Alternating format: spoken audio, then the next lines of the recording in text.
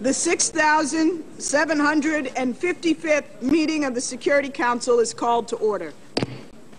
وافق مجلس الأمن الملتئم في نيويورك بالإجماع على إرسال 300 مراقب عسكري غير مسلح إلى سوريا لمراقبة وقف إطلاق النار. فبعد التوصل إلى مشروع قرار مشترك دمج بين الاقتراحين الفرنسي والروسي صوتت الدول الأعضاء الخمسة عشر في جلسة مفتوحة على القرار الذي يحمل الرقم 2043 المجلس يرحب بمشروع قرار مجلس الأمن. ينبغي معاقبة المسؤولين عن العنف الخطير في سوريا بالإضافة إلى المطالبة بوقف أي اعتداءات على المدنيين وإطلاق سراح كافة المعتقلين يحق للمتظاهرين التعبير عن رأيهم والتحرك بحرية.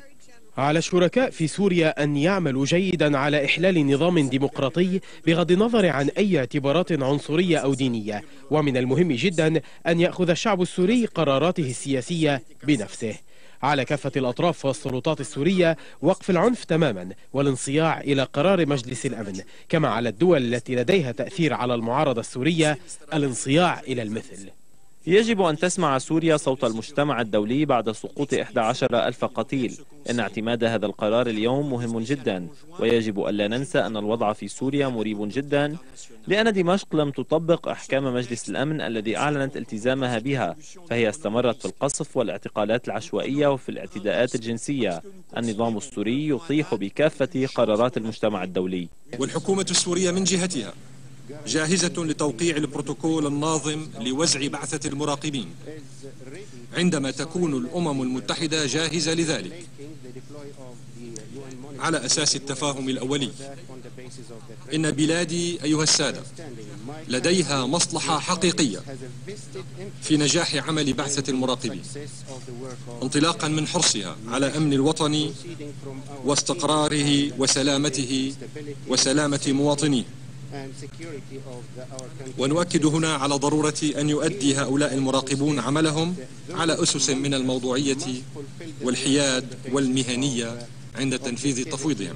إضافة إلى بند المراقبين ينص القرار على نقاط عدة أبرزها التمسك بخطة المفد الأممي كوفي أنان ودعوة الحكومة السورية إلى عدم استخدام الأسلحة الثقيلة وسحب حشودها العسكرية من المدن المأهولة كما يطالب الأطراف جميعا بمن فيها المعارضة إلى وقف أعمال العنف.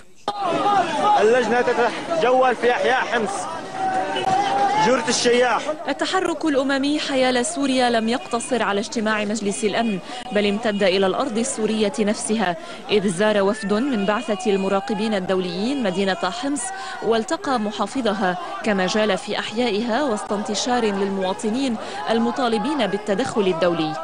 الشعب يريد حماية دولية الشعب يريد حماية دولية في العاصمة دمشق فقد أفيد عن دوي انفجار في مطار المزة العسكري. عازته الإخبارية السورية إلى تدريبات دورية يقوم بها الجيش. إلا أن المرصد السوري لحقوق الإنسان قال إن القوات النظامية عمدت بعد وقوع الانفجار إلى قطع الطريق المؤدي إلى دمشق من جانب المطار.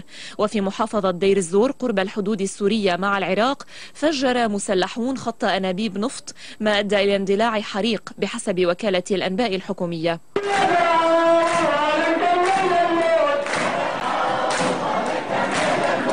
التظاهرات تواصلت في مختلف المحافظات السورية فقد شهدت كل من إدلب ودير الزور وحماء ودرعا مسيرات داعمة للمدن المنكوبة. رفعت فيها الشعارات الداعية لرحيل الرئيس السوري بشار الأسد